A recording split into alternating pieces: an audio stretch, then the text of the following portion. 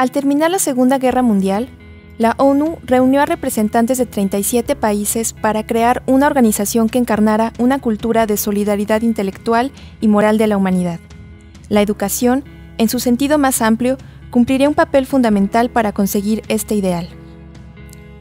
Durante la segunda reunión general de la UNESCO, llevada a cabo en la Ciudad de México en 1947, se acordó desarrollar un programa de educación fundamental y la creación de centros regionales en distintas partes del globo.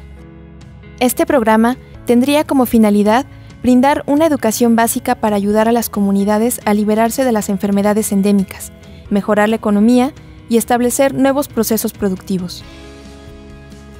En 1948, Educación Fundamental pasó a formar parte de los programas prioritarios de la UNESCO.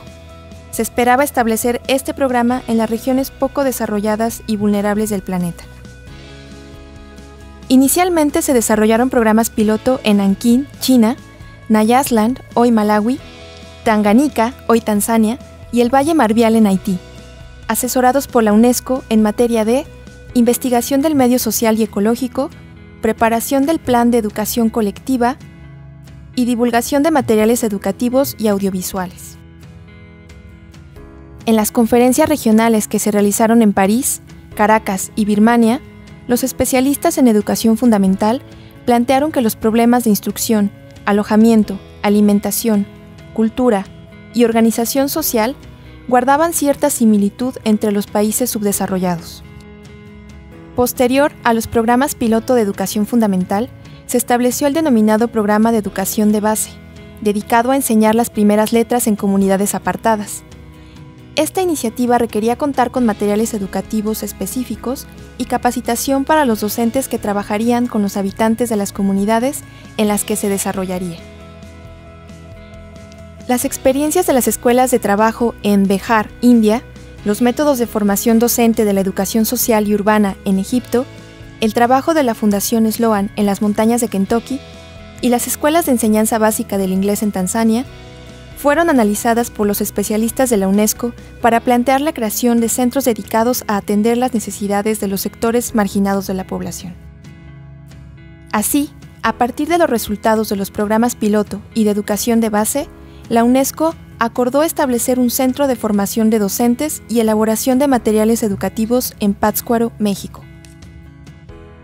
El antecedente de las misiones culturales, realizadas por José Vasconcelos en 1923, y el programa piloto en el estado de Nayarit, hacían que este lugar fuera idóneo para instalar el Centro de Educación Fundamental, que finalmente inició actividades en 1951.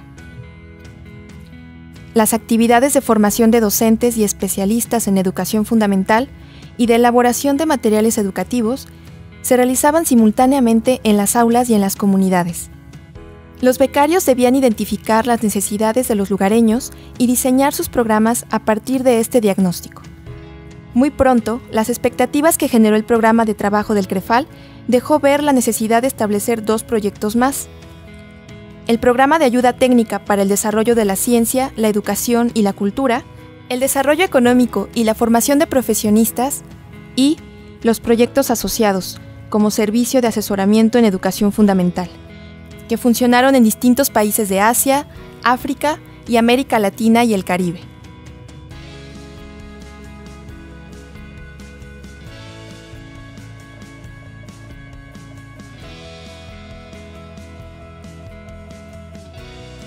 También, en 1951, se creó un segundo centro de educación fundamental en Sri Lanka, donde el 85% de su población era analfabeta y luchaba contra la sequía y el paludismo.